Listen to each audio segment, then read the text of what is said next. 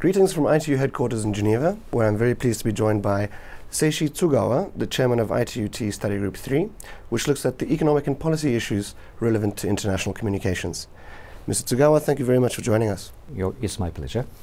Uh, could you perhaps give our viewers a brief introduction to uh, the history of Study Group 3 yes. and how this work has evolved over the years? Uh, so everybody knows that uh, ITU was founded in 1865 and uh, at that moment uh, the progress or development of the telegraph network was so significant in, European continents and uh, many countries had to negotiate bilaterally uh, their uh, settlement account, etc.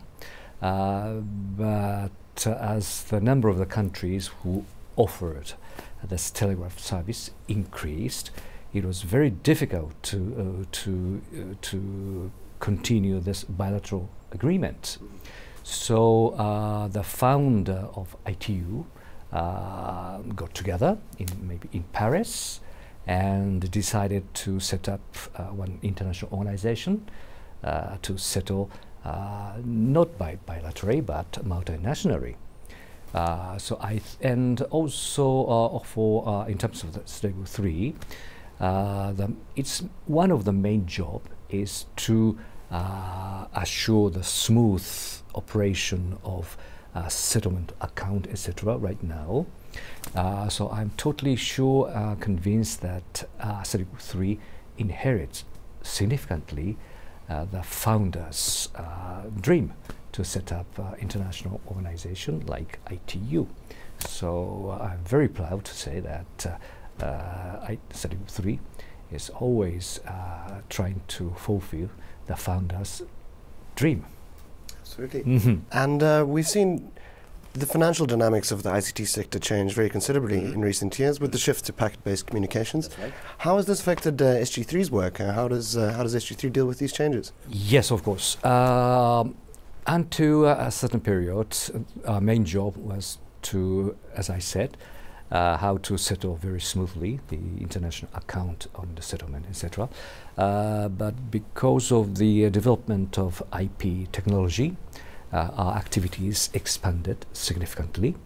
And for example, uh, the, during the last study period, uh, we have spent a lot of time in setting up or coming up with recommendations about international roaming.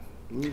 So this, these two uh, recommendations were uh, really the first trial in the in in the world uh, to guide uh, effectively the international roaming activities. So we are very proud to that achievement. That's excellent to hear. Mm. And um, I wonder who are the stakeholders that need to participate in study group 3 uh, it's not technical group in the way that other study groups are.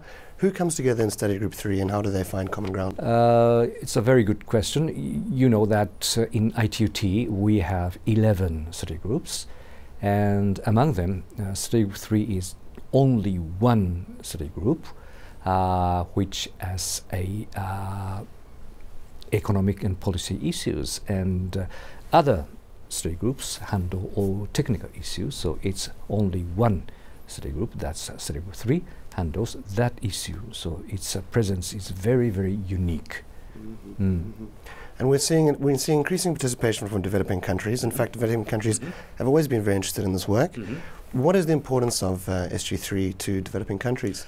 Oh, yes. Uh, I would like to draw your attention uh, to the fact that uh, we, group 3, uh, created very in the very uh, long time ago regional groups okay, and beginning from Africa and Asia and Latin American and uh, uh, uh, European countries and uh, some Russian, the, the country close to Russian, etc.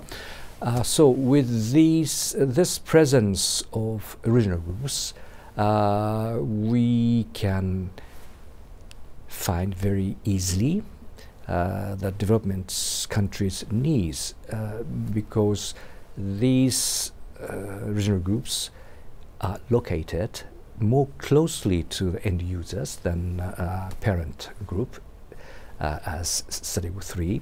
So we, with this presence, uh, we know uh, particularly the real need of the developing countries' need. So I would like to emphasize, emphasize the existence of uh, regional groups. Excellent.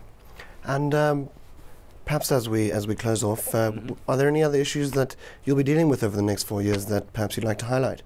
Uh, yes. Uh, for example, we are now looking at uh, many uh, advanced technologies such as uh, big data and I, I, and digital identity, etc. so we we have just started. we are now currently holding the first meeting of the CEREGUA 3 and uh, uh, many views are expressed about handling those new, uh, Uh, newly created issues. Uh, so we we have still four years, so we are now in the process of getting the the common image about those new technologies among CEREGUA 3. Mr. Tsugawa, thank you very much for joining us. Thank you very much indeed for having for having invited me to this interview. It was my real pleasure. Thank you very much.